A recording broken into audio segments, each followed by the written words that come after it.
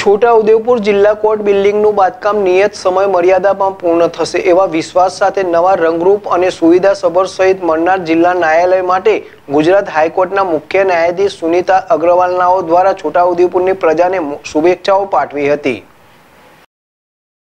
છોટાઉદેપુર ખાતે પધારેલા રાજ્યના હાઈકોર્ટના મુખ્ય ન્યાયમૂર્તિ અને સર્કિટ હાઉસ ખાતે ગાર્ડ ઓફ ઓનર આપવામાં આવ્યું હતું. આજરોજ છોટાઉદેપુર નગરમાં નવીન જિલ્લા અદાલત છોટાઉદેપુરના બાંધકામ માટે ભૂમિપૂજનનો કાર્યક્રમ. નામદાર ગુજરાત હાઈકોર્ટના મુખ્ય ન્યાયમૂર્તિ સુનિતા અગ્રવાલના હસ્તે કરવામાં આવ્યું હતું. ઉપસ્થિત મહાનુભાવોએ દીપ પ્રાગટ્ય કરી કાર્યક્રમને ખુલ્લો મૂકવામાં આવ્યો હતો. છોટાઉદેપુર જિલ્લા પ્રિન્સિપાલ જજ ડીપી કોહિલ તેમજ છોટાઉદેપુર જિલ્લાના ન્યાયાધીશ દ્વારા ડાયસ ઉપર બિરાજમાન મહાનુભાવોનું પુષ્પગુચ્છ દ્વારા સ્વાગત કરવામાં આવ્યું હતું.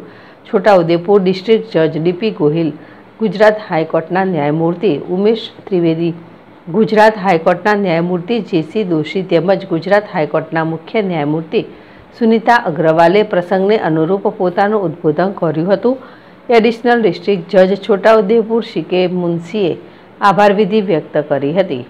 આ પ્રસંગે છોટાઉદેપુર જિલ્લાના છોટાઉદેપુર, પાવીજેતપુર, બોડેલી, સંખેડા, નસવાડી અને ક્વાંટ બાર એસોસિએશનના હોદ્દેદારો અને વકીલો મોટી સંખ્યામાં ઉપસ્થિત રહ્યા હતા.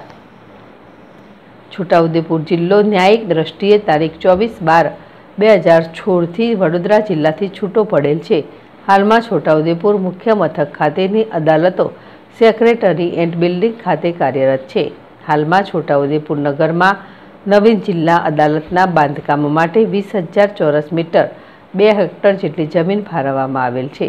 નવીન જિલ્લા અદાલત છોટાઉદેપુરમાં કુલ નવ પોર્ટોનું બાંધકામ થનાર છે. તે ઉપરાંત નવીન જિલ્લા અદાલતની ઇમારત, ચાર માળની અને તમામ આધુનિક સુવિધાઓથી સુસજ્જ બાંધવામાં આવશે. આધુનિક ઇમારતનું બાંધકામ છોટાઉદેપુર નગરની મધ્યમાં રેલવે સ્ટેશનની નજીક અને છોટાઉદેપુર વિશ્રામ ગૃહની સામે થનાર છે. જેથી છોટાઉદેપુર નગરના નગરજનો તથા છોટાઉદેપુર જિલ્લાના તમામ તાલુકાના પક્ષકારો તેમજ વકીલો તમામ માટે આશીર્વાદરૂપ સાબિત થશે. અલ્લા રકા પઠાણ જેડેશ ટીવી, છોટાઉદેપુર.